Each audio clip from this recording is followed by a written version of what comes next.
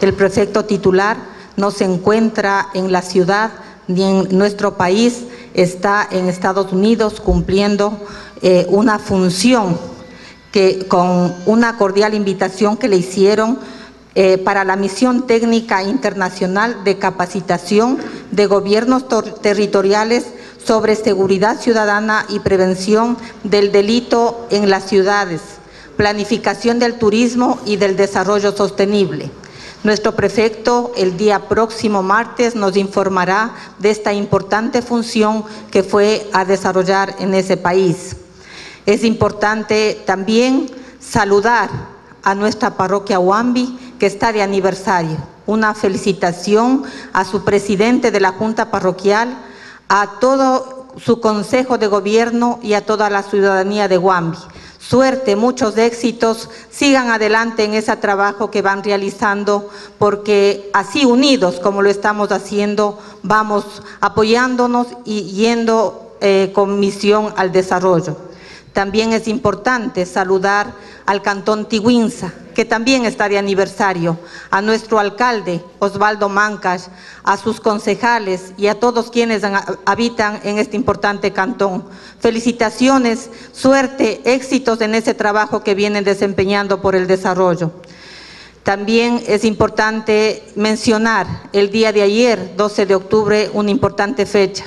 históricamente lo llamábamos el Día de la Raza.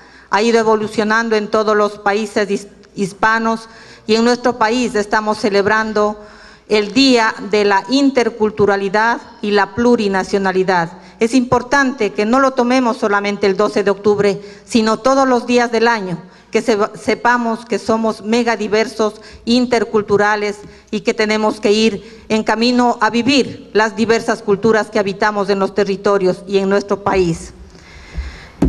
Me es muy grato indicarles que el día 28 de octubre vamos a inaugurar nuestro, eh, nuestro camal y también planta de procesamiento en el Cantón Santiago de Méndez. Es un proyecto que ha venido trabajándose desde algún tiempo, pero ya vamos viendo los pasos finales de, para iniciar este proceso. El día 28 es una gran la gran inauguración, vamos, hacemos la cordial invitación a todos los ganaderos, a todas las autoridades, a las personas que habitan en toda nuestra provincia para que presencien esta, este gran proyecto que está eh, llegando a culminar el proceso, la etapa de creación, porque luego de esta etapa de creación nos toca caminar un camino largo, un camino que lo iremos, en el trayecto lo iremos formando, porque es bastante complejo la parte de la comercialización.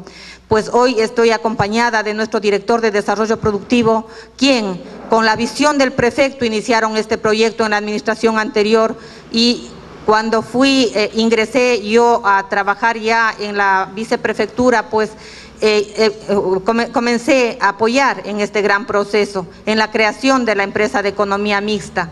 Ya estamos en los pasos finales y esperamos llegar a todos nuestros ganaderos, a todos nuestros agricultores que se incentiven porque no solamente vamos a crear, eh, va a iniciarse la compañía de cárnicos, sino también la de lácteos y la de malanga y papachina. También estamos haciendo una cordial invitación a las asociaciones de agricultores para que sean parte de la empresa eh, de industrialización de, malanga, papachina y otros productos de la zona.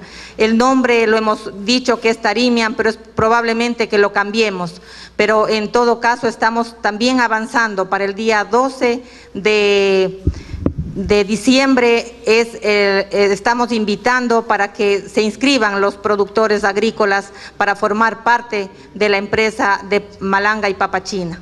Esperamos pues también tener la misma acogida que lo tuvimos con, con cárnicos, la gente estuvo muy interesada, los ganaderos están interesados aún y ojalá próximamente podamos también llamar a, que los eh, más ganaderos, más asociaciones formen parte de esta gran empresa. No queremos únicamente que formen parte estas tres organizaciones, como es el Centro Agrícola de Gualaquiza, la Asociación Buena Esperanza de Chinimbimi y también las personas de Méndez. Queremos que participe toda la provincia, que sean integrantes de la Compañía de Economía Mixta de Cárnicos. También les hacemos la cordial, cordial invitación para que se incentiven los productores de leche y también los productores agrícolas en los diferentes productos de nuestra zona.